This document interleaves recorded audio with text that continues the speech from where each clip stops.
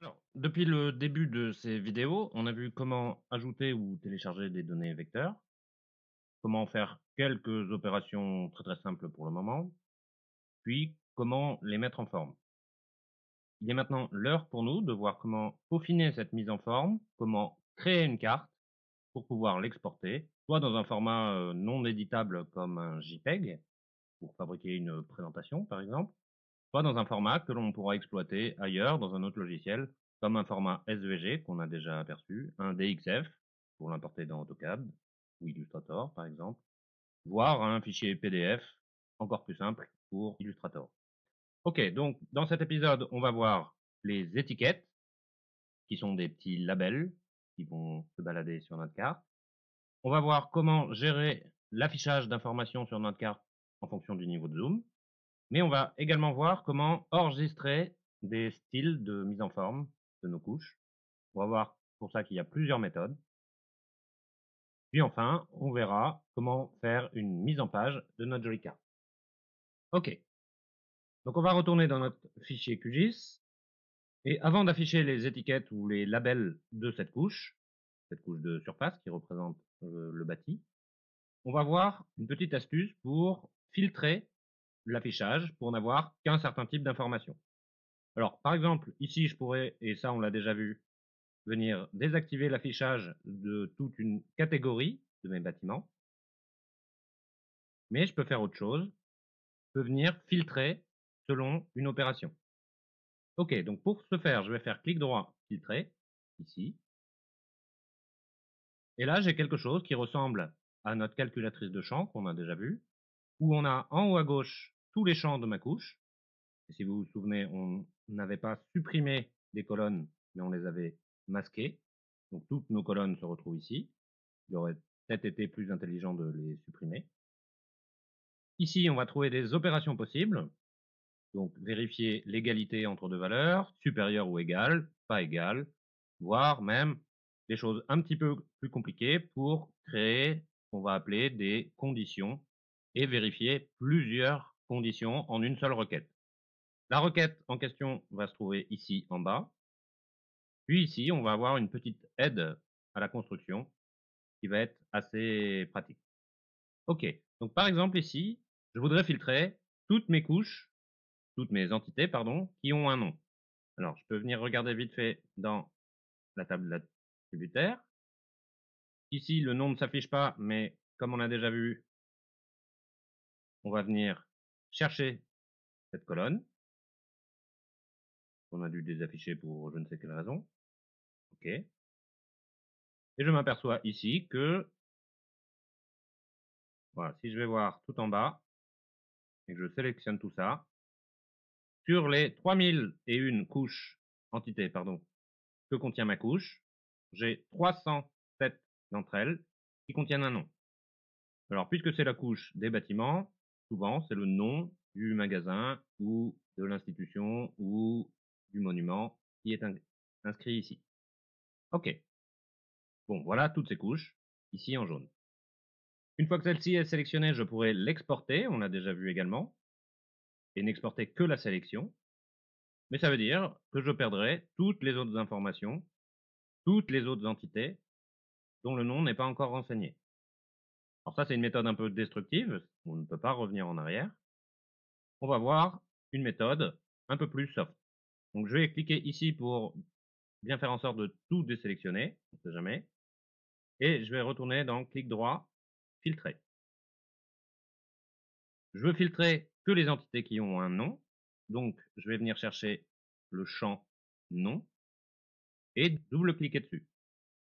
Ça l'ajoute directement dans ma construction de requête avec directement le bon formatage. Le formatage en question, c'est, on va voir, à chaque fois qu'on a quelque chose d'écrit entre double guillemets, ça va faire référence à un champ. On pourrait par exemple essayer un autre champ comme, euh, je sais pas, OSMID, et il me rajoute donc ce champ entre double guillemets. Je vais maintenant choisir une opération, par exemple égal, égal à, vérifier si la valeur inscrite dans mon champ est égale à quelque chose. Et puisque je ne connais pas exactement les noms qui sont entrés dans ma table attributaire, je vais demander à QGIS de me montrer ce qu'il y a dedans. Alors soit je clique sur tout et j'affiche toutes les valeurs que contient ce champ nom, et il y en avait 307, je crois. On peut essayer, voir. Oups, pardon, j'ai pas cliqué sur le bon champ. Name, tout. Ok, ici mes 300 et quelques noms. Ou si j'ai vraiment beaucoup beaucoup d'informations, je peux lui demander juste un échantillon où il m'en affiche que les je ne sais combien premier. Une fois que j'ai tous ces champs, qui sont des champs uniques, chaque polygone a un nom unique, eh ben, je peux en choisir un et venir double-cliquer dessus. Voilà, je prends celui-là au hasard, je n'ai aucune idée de ce que ça peut être, mais c'est pas grave. Avant de valider, je peux cliquer sur tester, et ici, QGIS me dit, ma requête me donne une réponse. Donc ça veut dire qu'avec cette requête, je vais afficher qu'une seule de mes 3001 entités. OK. Je fais OK. Et là, j'ai l'impression que tout a disparu, sauf une toute petite entité. On peut aller regarder vite fait où est-ce qu'elle est. Voilà, elle est dans le centre-ville de Port-Louis. Voilà, sauf que c'était pas tout à fait ça que je voulais faire. Moi, je voulais afficher que les bâtiments qui avaient un nom. Donc, je peux refaire clic droit filtré ou cliquer sur cette icône qui est apparue, qui est l'icône du filtre. Et je vais vérifier une seconde condition. Je vais lui dire, cherche-moi tous les champs qui ne sont pas égales à rien, à vide. Donc ici, j'ai une chaîne de caractères vide entre deux guillemets simples. Parce que oui, du coup, on l'a pas dit, mais les guillemets simples représentent les valeurs à l'intérieur des champs. Je peux faire tester pour voir. Normalement, je vais avoir 301 ou 307, je ne sais plus. Voilà, 307, 307 résultats. OK. Je peux valider ma requête. Et maintenant, je n'ai plus ici que les couches qui contiennent un nom. Je peux aller voir dans ma table attributaire. Ma table attributaire a également été filtrée. C'est écrit ici, filtré 307 entités. Et toutes contiennent un nom. Je peux les trier dans les deux sens pour m'apercevoir qu'aucun de ces champs n'est vide. Ok, bingo. Alors si j'ai filtré, c'est parce que l'affichage des étiquettes peut prendre beaucoup de mémoire. Et de toute façon, afficher des étiquettes euh, d'un champ vide, ça ne sert à rien. Donc on va afficher ici, ou essayer d'afficher, tous les noms de ces bâtiments. Alors pour faire ça, je vais faire clic droit propriété. C'est le même endroit que la symbologie, sauf qu'on va aller chercher le menu étiquette. Étiquette, c'est assez simple. On va déjà lui dire, par défaut, il n'y a aucune étiquette à afficher. Et heureusement, ça ferait beaucoup d'informations si toutes les couches affichaient des étiquettes.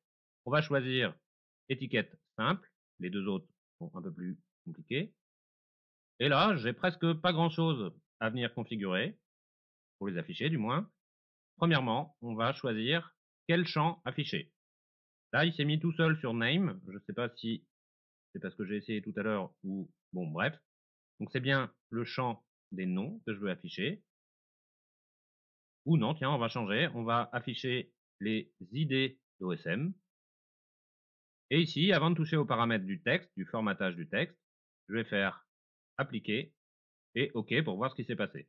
Alors voilà, sur chacune de mes couches, on va aller voir celle-là par exemple, il m'a inscrit l'idée de cette entité. Bon, c'est un peu nul de le faire sur les idées, on va faire plutôt sur les noms. Mais tant qu'on est sur notre carte, on peut voir déjà que l'affichage est pas terrible, il est en noir sur du noir, donc je ne vois rien. Ok, ici je vais remettre nom. On peut le taper comme ceci. Et ici, je vais avoir accès au formatage de mon texte. Alors, il y a plusieurs petites choses intéressantes. Donc, le, premier, c'est euh, régler la police, euh, la graisse de ma police et la taille. Ici, on peut dire, par exemple, le texte est sans doute un petit peu gros, on va pouvoir le baisser. Changer de police, trouver une police un peu plus soft comme Arial, et ainsi de suite. Ici, pas trop de problème. Appliquer. OK. Euh, je vais peut-être le remettre un petit peu plus gros, plutôt en 8. Là, je vois déjà plus grand chose. OK. Deuxième option intéressante, et je vous disais par exemple ici, ma police en noir sur noir, on ne voit rien. Pour une petite astuce de cartographe, pour afficher un label au-dessus d'une surface, c'est de rajouter ce qu'on appelle un tampon. Un tampon, c'est tout simplement un petit contour à ce texte. Donc, le tampon, on va choisir la taille de ce tampon, de ce contour, et sa couleur. Éventuellement d'autres paramètres, comme on avait déjà vu ça pour les lignes, comment ces lignes s'arrondissent ou pas. Appliquer OK, et voilà, j'ai bien un petit contour autour de mon texte. Bon, un gros contour. Deuxième astuce, on va pouvoir ajouter un arrière-plan. Un arrière-plan, c'est quoi? Eh ben, c'est pas tout à fait comme le contour qui vient épouser la forme des lettres. Avec arrière-plan, on va venir rajouter un fond rectangulaire en dessous de notre texte. Donc je vais choisir la forme, éventuellement la taille. Je vais essayer quelque chose d'assez petit déjà pour voir. Éventuellement le décalage, on verra ça à un autre moment. Et surtout la couleur de remplissage. Je vais essayer de le laisser sur blanc, ou non, tiens. Oh, je vais reprendre ma couleur rose que j'avais préconfigurée la dernière fois. Et ici, éventuellement, choisir une largeur de trait. Je vais mettre quelque chose de très très fin, comme 0,05. Je fais appliquer. Et voilà ce que j'ai. J'ai un petit rectangle autour de chacun de mes textes. Ce contour est un peu disgracieux, vous voyez, il vient quasiment toucher le bord de mes lettres, à la fois en hauteur, mais également en largeur. Je vais pouvoir agrandir la taille de ce rectangle en venant augmenter cette valeur-là pour les X, pour faire une étiquette plus longue, ou peut-être même 10. Voilà, très très longue. Et également en hauteur, je vais faire quelque chose comme 0,8, appliquer. Et voilà, là j'ai une vraiment très grosse étiquette. Dernière petite astuce, je vais désactiver le fond et peut-être même désactiver le tampon. On va pouvoir activer une petite ombre portée où on a juste à l'activer et régler quelques petits paramètres, vous essaierez par vous-même, comme ce qu'on avait fait sur les clusters, rappelez-vous. Ok, l'ombre c'est pas mal, mais ça marche pas vraiment, vous allez voir ce qui se passe, ça marche pas vraiment sur les polygones qui sont déjà en noir, puisque l'ombre est noire. Ça marche sans doute mieux sur des polygones un peu clairs, comme cela, et encore, c'est vrai que c'est pas encore vraiment très lisible. Mais c'est pas grave, on a une autre astuce, un autre type d'astuce, qui va être de décaler ce texte par rapport à ma forme. Donc, sur les polygones, mon texte s'affiche sur le centre, le centroïde de chacun de mes polygones. Ça, on peut venir le changer dans positionnement. Et dans positionnement, le paramètre par défaut est autour du centroïde. Je peux le mettre décalé par rapport à ce centroïde. Décalé, je vais, configurer le décalage. Donc ici, il faut considérer que c'est le centre de mon polygone. Et je vais dire d'afficher plutôt les labels sur le haut. Appliquer. Et vous avez vu, mon texte, c'est un tout petit peu relevé. Je peux augmenter cette distance ici, en mettant par exemple 2, peut-être que ça va être beaucoup. Oups, ici c'était en X, pardon, donc on va laisser 0 et mettre plutôt 2 en Y. Excusez-moi encore, plutôt moins 2 pour le faire remonter. Les valeurs positives ayant tendance à les ramener vers le bas. Et surtout, je vais aussi augmenter cette valeur. Ce 2, c'est vraiment pas beaucoup, donc je vais faire moins 10. Voilà. Bingo. Bon, ça, ça marche pas mal, sauf que, euh, bah, en effet, cette distance par rapport au centroïde de chacun des polygones ne va pas marcher sur chacun de ces polygones. Par exemple, ce polygone tout petit, 10 unités vers le haut, ça semble vraiment très loin du centre, alors que sur celui-là, ça a l'air plutôt pas mal, et sur celui-là, ce n'est encore pas assez. Alors, le positionnement des labels sur des polygones est quelque chose d'assez dur à faire. Généralement, et on va pas le faire ici, ce qu'on fait, c'est qu'on vient rentrer dans la table attributaire les coordonnées de chacun des positionnements de ces labels. Donc il faudrait pour chacun de ces polygones définir où va s'afficher ce label. On va pas le faire ici parce que ça va être assez fastidieux. On va plutôt venir voir autre chose. Je voulais vous montrer également d'autres possibilités sur les labels sur les lignes. Lignes ou polylignes ou multilignes. Donc je vais faire la même chose. Je vais juste regarder vite fait dans ma table attributaire quel type de données j'ai et quel type de données je vais pouvoir afficher. Ah, voilà, pareil, ici, j'ai une couche avec les noms, très bien. Je vais pouvoir indiquer le nom des rues sur chacune des rues qui sont affichées là. Ok, donc je vais faire clic droit, propriété, ou double-clic sur ma couche. Et pareil, étiquette simple, régler le nom, euh, je veux dire régler sur le champ des noms, appliquer pour voir ce qui s'est passé. Je vais me décaler un peu ici pour afficher les deux en même temps. Clic droit propriété. Voilà. Donc là, c'est pas mal. Vous voyez, le positionnement de mes noms de rue se fait au-dessus de mes lignes. J'ai pas vraiment bien zoomé dessus également, mais euh, chacun de ces labels est écrit en droit. Et souvent, ça arrive très fréquemment, les routes peuvent être courbes. Donc ça nous fait déjà deux particularités sur les étiquettes sur des lignes. La première, c'est qu'on peut les afficher courbes. Donc ils vont venir suivre la courbure de ma couche. Voilà, bingo. Deuxième chose que l'on peut venir régler, c'est le positionnement. Ici, les étiquettes sont écrites en haut de ma ligne. Je peux venir lui demander de les positionner sur ma ligne. Donc par-dessus ma ligne. OK. Et voilà, le nom est affiché sur ma ligne. Donc souvent, c'est assez illisible. Donc on peut également, comme on a fait tout à l'heure, rajouter par exemple un petit tampon. Alors 1, c'était beaucoup, on va essayer 1,8. En blanc, parfait. OK. Voire même plutôt rajouter un fond.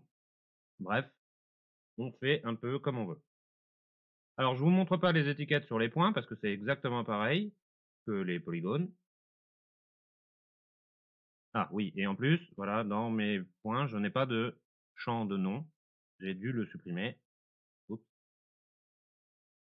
Voilà, on va retrouver le comportement que l'on avait sur les polygones, soit autour du point ou sur le point, soit décalé, soit cartographique. Voilà, rien de, de fou. Ok. Maintenant, on va voir quelque chose. Je vous disais comment par exemple, ici, sur ma couche de points, cette couche s'affiche tout le temps, qu'importe le niveau de zoom. Je vais remettre un fond OpenStreetMap pour voir à peu près où je suis, mais voilà. Et en plus, on est sur une couche qu'on a configurée en cluster, donc c'est plutôt pas mal. C'est-à-dire que plus je dézoome, plus mes chiffres grandissent. Mais par exemple, ma couche des surfaces, Ici, à cette échelle-là, je ne vois rien. Et pourtant, je demande à QGIS de les afficher quand même et d'afficher les labels. Donc là, QGIS est en train de calculer, un peu pour rien, puisque je ne vois rien. Donc ce qu'on va pouvoir faire, c'est déterminer, dire à QGIS, à partir de quel niveau de zoom, il va pouvoir afficher cette couche. Alors on va y aller progressivement, je vais zoomer jusqu'à ce que je trouve pertinent d'afficher cette couche. Donc on n'a qu'à dire par là, c'est pas trop mal. On est à une échelle pas très précise. On va pouvoir, par exemple, peut-être l'arrondir si on a, si envie. Je vais choisir, voilà, celle-là. Vous avez vu, c'est l'affichage des labels qui prend potentiellement pas mal de temps. Sachant en plus que, forcément, ici, j'ai 307 polygones. S'il devait m'afficher tous les labels, eh ben, le, les textes se rentreraient les uns dans les autres. Donc, en plus d'afficher les labels, il est obligé de calculer lesquels il va afficher et lesquels il ne va pas afficher. Il y a moyen de configurer la priorité des labels à afficher en priorité par rapport aux autres, mais on va pas voir ça aujourd'hui. Donc là, c'est vrai que je suis encore un peu loin, je pourrais zoomer un tout petit peu. Voilà. Ok, donc on est au 1 50 millième. Cette valeur-là, je vais la prendre et je vais la copier plus simple pour ne pas faire d'erreur. Je vais faire clic droit sur ma couche, puis propriété. Bon, j'ai désactivé les labels parce que franchement, il a du mal à les afficher et on n'en a pas vraiment besoin. Et je vais aller dans l'onglet rendu. Dans l'onglet rendu, on a quelques options comme simplifier la géométrie ou pas, qui peut être pas mal. Je propose de laisser cette euh, option cochée par défaut.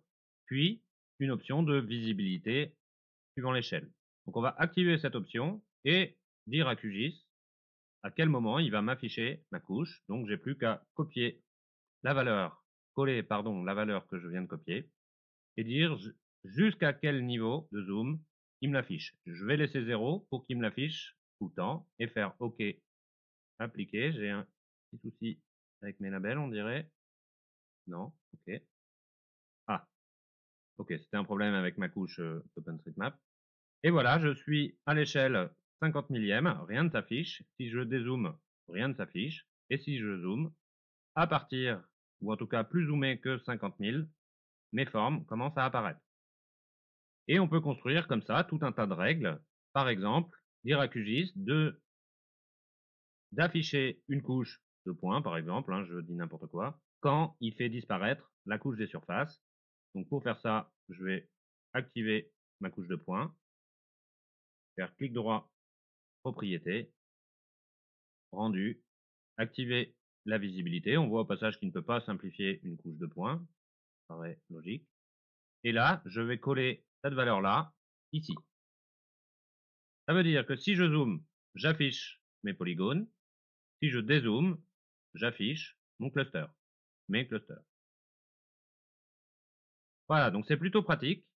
Ça permet sur un seul et même fichier de commencer à afficher ou non de l'information selon le niveau de détail qu'on souhaite. OK. Ah oui, au passage, ici je suis sur un niveau de zoom où QGIS n'est pas censé m'afficher ma couche de points, mes clusters. Elle est donc grisée. Elle est là, mais grisée. Elle ne s'affichera. Voilà, là, elle a été dégrisée. Ici aussi, elle est activée, mais grisée. Donc, je ne la vois pas. Ok, maintenant, comment enregistrer un style? Parce que, je vais me remettre sur mes polygones. Mes polygones sont enregistrés quelque part sur mon bureau. Si je m'approche ici, ils sont sur mon bureau dans un GeoPackage qui s'appelle S, pas très original comme nom. Je vais aller là où cette couche est enregistrée sur mon disque dur. Elle est ici, donc s.geopackage, avec les deux petits fichiers qui ne s'affichent que quand ce fichier est ouvert, puisqu'il est déjà ouvert QGIS, c'est normal qu'il soit là. Et je vais venir reglisser cette couche dans QGIS. Donc elle va être présente deux fois. OK. Et donc elle s'est réaffichée, et vous avez vu, elle s'est affichée en orange euh, avec un léger contour. Je vais venir la réimporter une troisième fois. OK, elle s'est réaffichée ici avec encore une autre couleur. Je vais la réimporter, et c'est encore affiché avec une autre couleur. Et en gros, ça c'est le comportement de QGIS. Quand vous importez une couche dans une composition, il lui attribue une symbologie totalement aléatoire. C'est ce qu'on avait vu quand on avait ouvert les fichiers OSM. C'était moche parce que la symbologie n'avait pas été réglée et étant mise en aléatoire, on avait plein de couleurs un peu cheloues partout.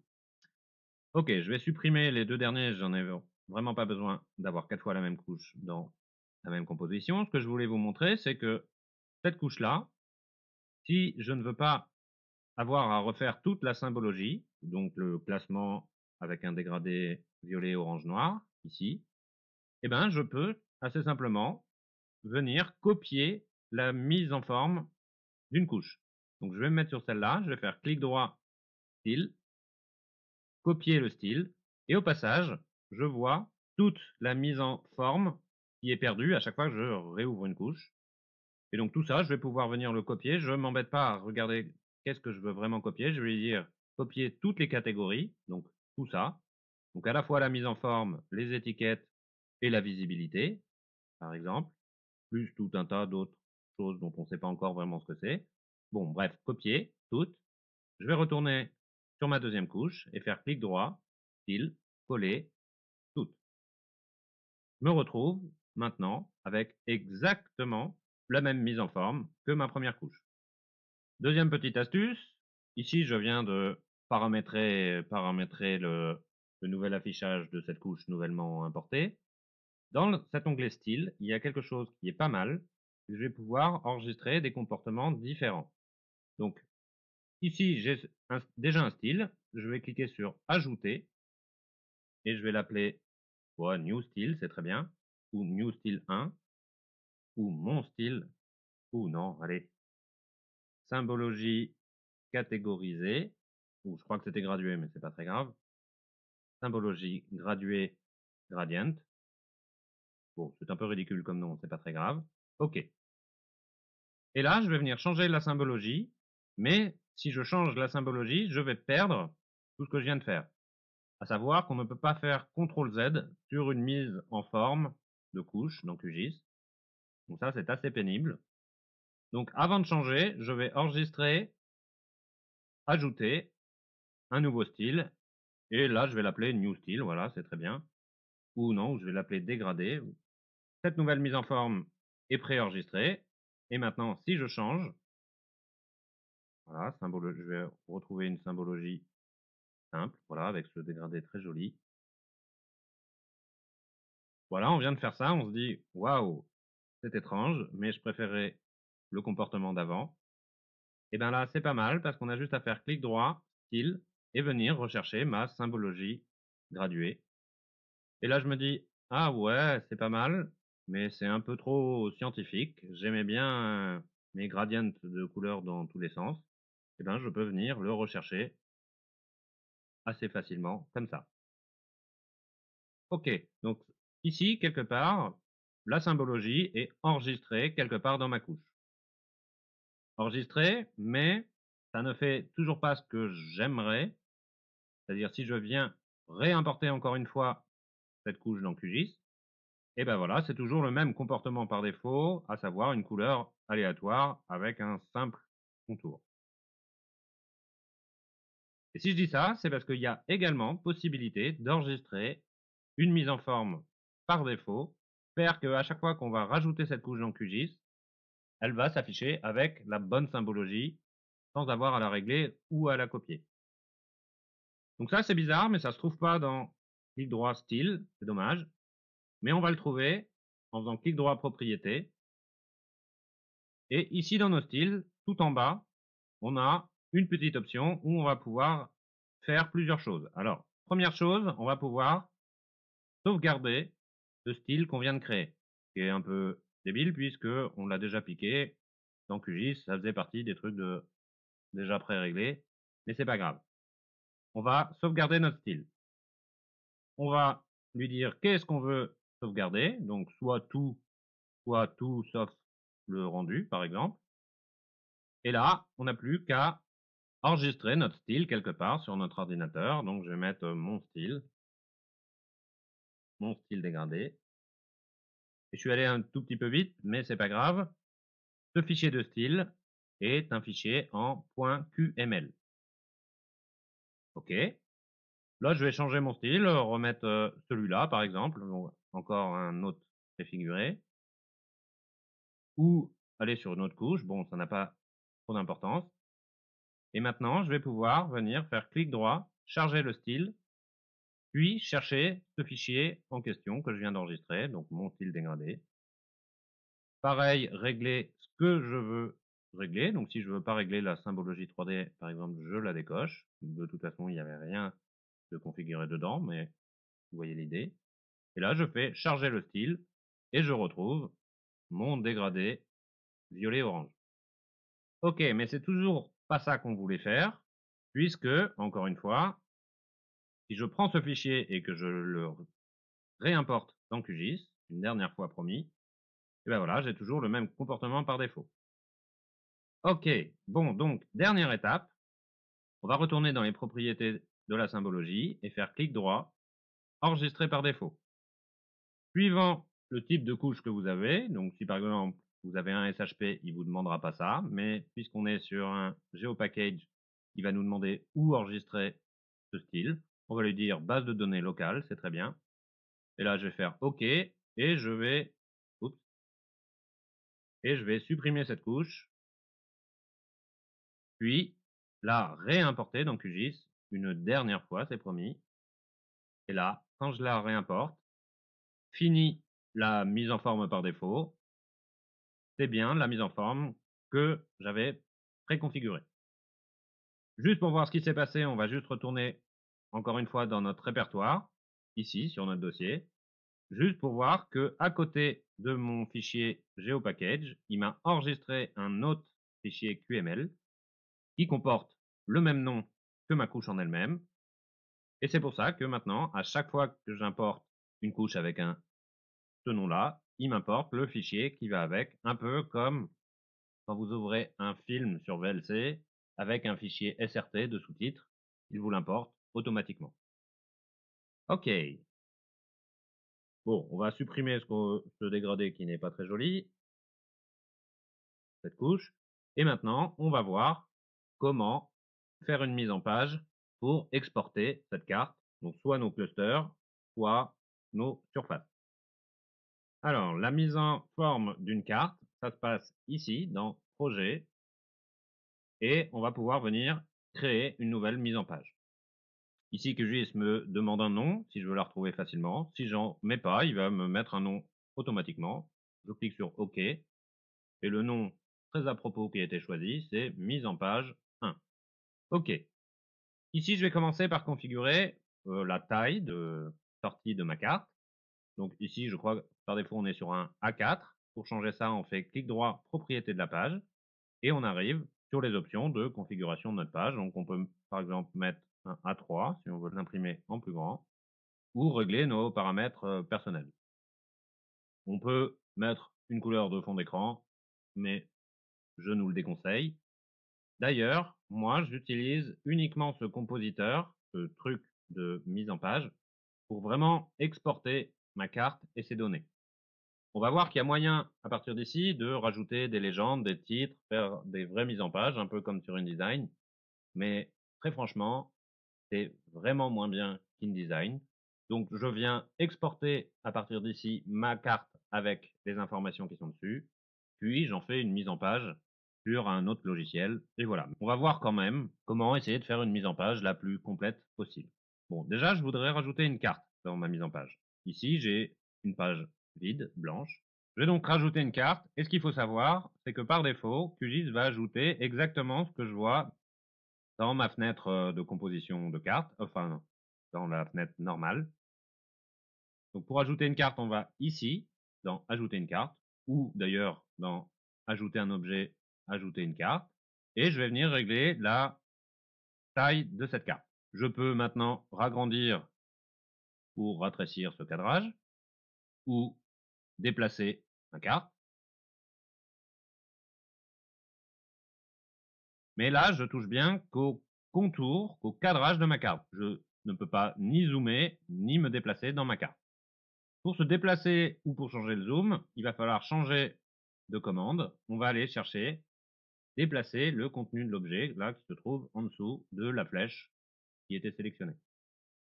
Une fois que cet outil est activé, maintenant, si je zoome avec la molette, ou si je panne avec le clic droit de la souris, je déplace bien le contenu. Comment connaître l'échelle de sortie de ma carte? Avec la molette, c'est assez difficile.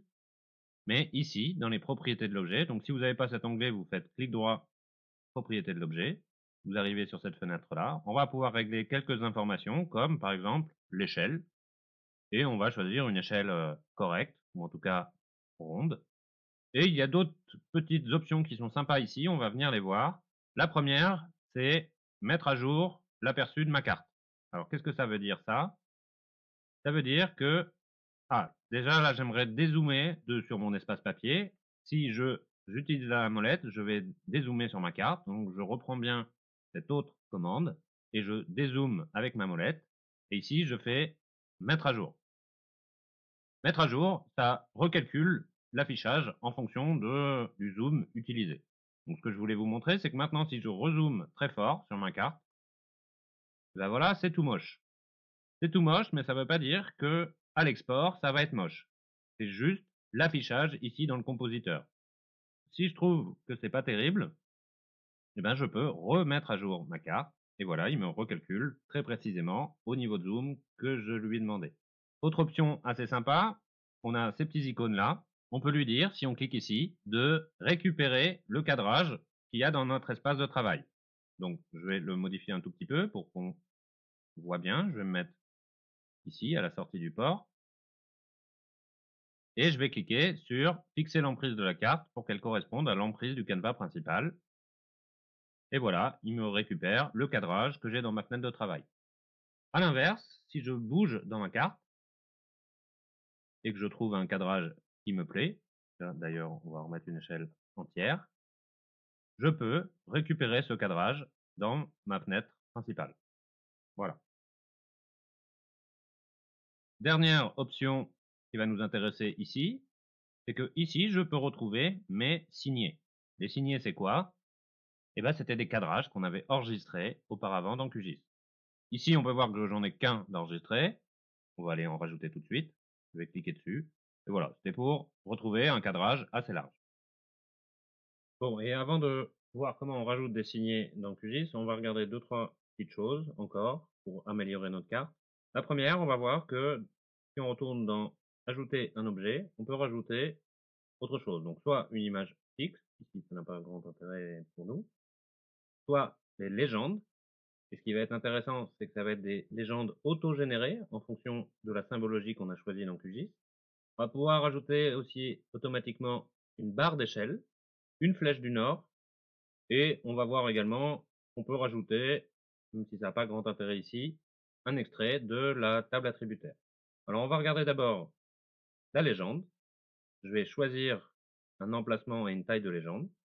Puis la taille se réadapte automatiquement en fonction des couches présentes dans ma composition. Ce sont les mêmes que l'on retrouve ici dans mon projet. Une fois cette légende sélectionnée, si je retourne dans les propriétés de l'objet, je peux déjà définir un nom de ma légende. Bon, je vais mettre légende. Ça vient s'afficher tout là-haut puis régler quels sont les éléments qui vont être présents dans ma légende. Donc, par exemple, la couche OpenStreetMap, ça n'a pas grand intérêt de le rajouter dans la légende. Donc, je voudrais la retirer. Pour la retirer, il va falloir que je décoche la mise à jour automatique de cette légende par rapport à mon fichier QGIS. Donc, je vais retirer cette mise à jour et je vais cliquer sur OpenStreetMap et le retirer. Pareil pour valeur unique, elle n'a pas beaucoup d'intérêt dans cette légende, c'est un fichier de calcul, ok. Et par exemple, si je voulais regrouper plusieurs types de légendes entre elles, je vais pouvoir créer un groupe et glisser mes différentes catégories à l'intérieur de ce groupe.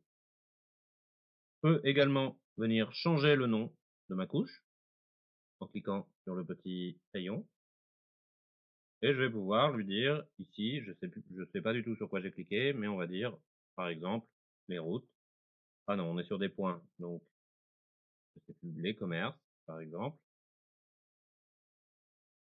Ici, les routes. Je peux venir régler la symbologie de ma légende, mais correspondrait plus avec la symbologie de ma carte, et ainsi de suite. Donc ça c'est plutôt pas mal, c'est plutôt pratique. En revanche, si je viens modifier mon projet, et que du coup mes catégories ont changé, il va falloir que je refasse une mise à jour, soit en réactivant la mise à jour automatique, soit en cliquant sur tout mettre à jour. Le problème ici, c'est que je vais perdre tout ce que j'avais fait juste avant. Ok, deuxième petite chose, euh, on va agrandir un tout petit peu cette fenêtre. On va voir qu'ici en bas, il y a une option intéressante qui dit ne me montrer que les entités à l'intérieur de la carte liée. Ça veut dire qu'il va me calculer la légende en fonction seulement de ce qui est visible ici sur ma carte. Donc ici, il n'y a que mon fond OpenStreetMap, pas très intéressant. Mais si par exemple, je me repositionne à l'intérieur de ma carte et que je zoome, jusqu'à afficher par exemple mes polygones, mes polygones réapparaissent. Ok, donc ça c'est pas mal. Moi ce que je conseille, c'est de le laisser en automatique, avec cette option ne montrer que les entités présentes sur la carte. Et de toute façon, cette légende, on viendra la retoucher sur un autre logiciel de composition, comme par exemple InDesign ou Express ou ce que vous voulez. Vite fait, avant de passer au signé, on va pouvoir rajouter une barre d'échelle, une échelle graphique, que l'on va pouvoir configurer selon euh, plein de paramètres. Voilà, je vous laisserai fouiller par vous-même. puis ajouter également une flèche du nord qui indique le nord, si tant est que le nord est bien en haut de ma carte. Cette flèche du nord est un symbole en SVG que je vais pouvoir venir changer. Bon, voilà, sans doute qu'il faudrait plutôt chercher les symboles appropriés. Y a-t-il un dossier d'ailleurs? Voilà, celui-là, très bien. Je vais remettre mon échelle à peu près centrée. Voilà, il y a également, on va pas forcément le voir, des outils d'alignement, ici, ou de distribution pour répartir un élément, pas plusieurs éléments sur ma composition. Et voilà, comme je vous disais, moi, c'est quelque chose que je ne fais pas forcément dans QGIS, que je fais plutôt après. Ce qui m'intéresse surtout, c'est le contenu de ma carte, et éventuellement la légende. Alors, le contenu de ma carte, il comprend deux choses. Il comprend mon cadrage, mais également les informations qui sont affichées à l'intérieur. Ici, ma composition ressemble à ce que j'avais exactement ici. Si je ferme cette mise en page, et que je l'enregistre, et que je rajoute par exemple mes clusters, ah oui, souvenez-vous, mes clusters sont filtrés, ou en tout cas ont une échelle de visibilité. Je vais venir supprimer ça tout de suite. Oh, ou non, tiens. Je vais plutôt afficher mes routes. Et que je retourne dans ma mise en page, non pas en faisant nouvelle mise en page, mais en faisant gestionnaire de mise en page et ouvrir ma mise en page 1, que je peux d'ailleurs renommer ici, zoom sur le centre, j'ai plus qu'à faire afficher. Et ici, si je fais F5, ou des fois QGIS se met à jour automatiquement, il me réaffiche toutes les couches qui sont affichées ici dans mon espace de travail. Alors ça c'est bien, c'est pratique, sauf que l'on va voir que quand on va avoir plein de couches, avec des mises en forme spécifiques, des compositions de calques et tout ça, ça va être assez fastidieux à chaque fois de réactiver ou désactiver les calques qu'on veut voir, de remettre la bonne symbologie et tout ça.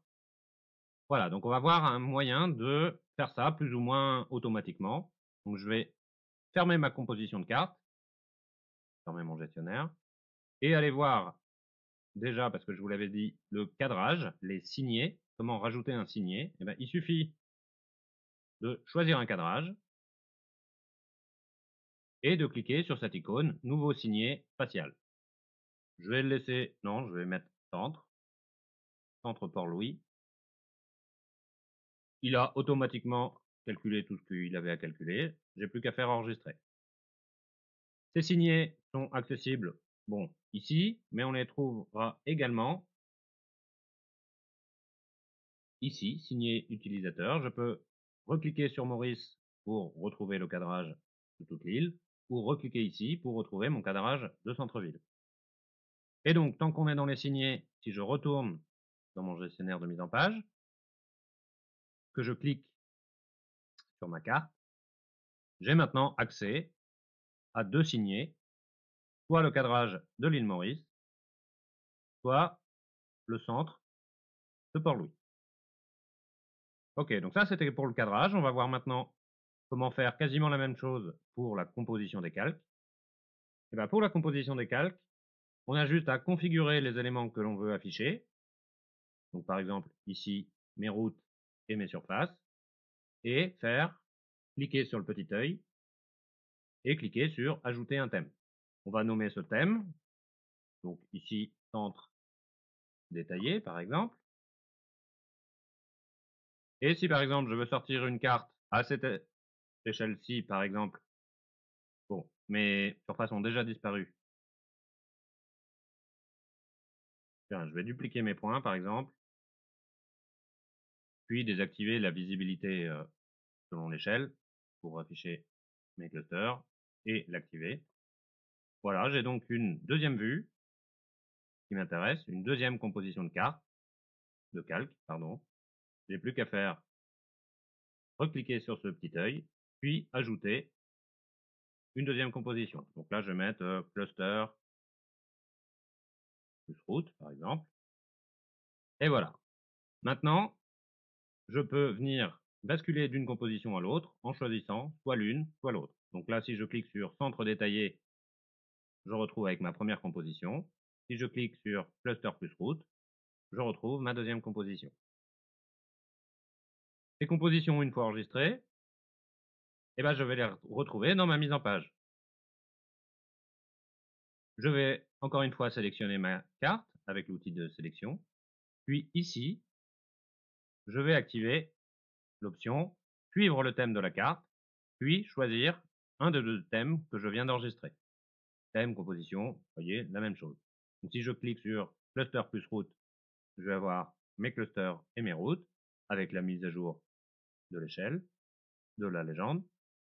Si je clique sur centre détaillé, mes clusters disparaissent. Ok, ça c'est aussi super si je veux faire dans un même document plusieurs, exporter plusieurs cartes. Ici, je n'ai qu'une page, un à 3 si je me souviens bien. Je peux également ajouter une deuxième page dans la même composition en cliquant ici, ajouter des pages.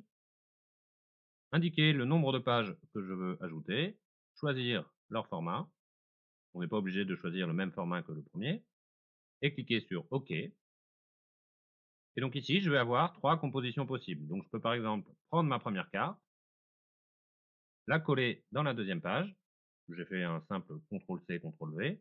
Et dans cette deuxième carte, switcher vers ma deuxième présentation. Cette deuxième carte, je peux la prendre et la recoller, la placer sur ma troisième page. Encore une fois, CTRL-C, CTRL-V. Puis changer le cadrage en allant chercher ce signé. Oups, c'était déjà celui-là. Le signé Maurice. Ok. Donc ici, j'ai trois pages.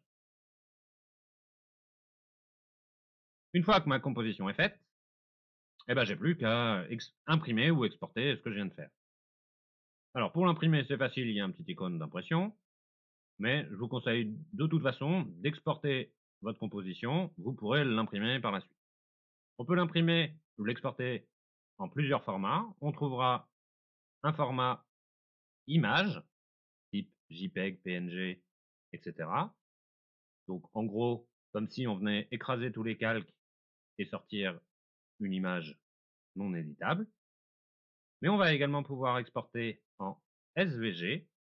Alors SVG, on l'avait vu avec les symboles, c'est un format de fichier vectoriel. Ça veut dire qu'on va pouvoir retoucher cette carte dans un éditeur vectoriel comme Illustrator, Inkscape ou ce que vous voulez.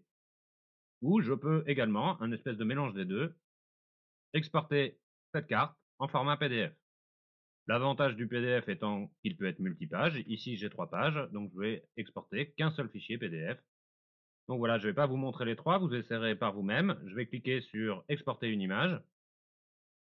Petite alerte cependant, à cause du fond XYZ d'OpenStreetMap, il me dit qu'il peut y avoir quelques petits bugs s'il n'arrive pas à télécharger la, la bonne quantité d'informations, si, surtout si on exporte notre page en très détaillé.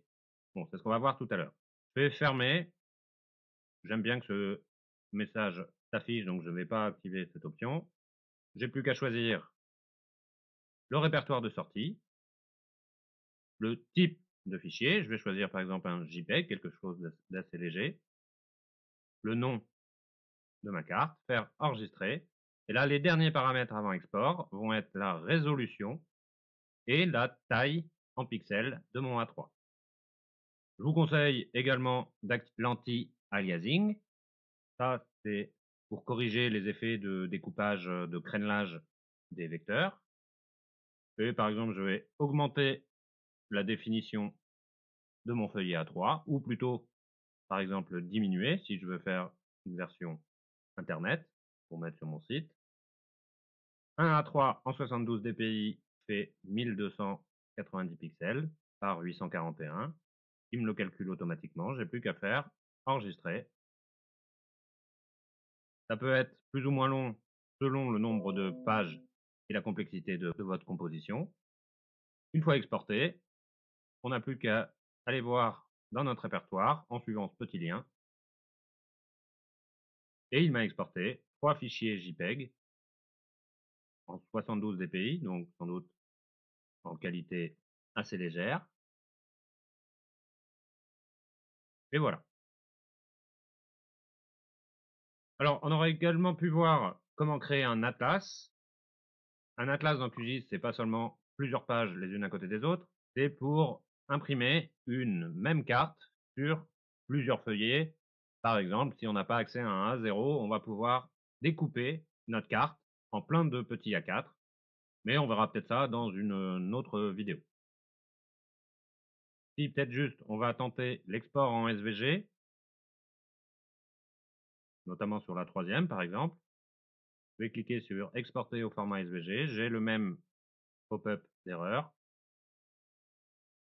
Une deuxième, je ne sais plus trop ce qu'il nous dit. Blablabla, c'est pas grave. Et là, je vais l'enregistrer au même endroit que le premier. Quelques petites options d'export de vecteur, rien de méchant. Ça m'a l'air plutôt bien. J'ai plus qu'à cliquer sur enregistrer. Ici, forcément, bah, ça peut être encore un peu plus long que l'aplatissement en JPEG. Mais on est patient. Voilà, il m'a fini l'export. Je peux retourner dans mon répertoire et tenter d'ouvrir cette carte sur Inkscape.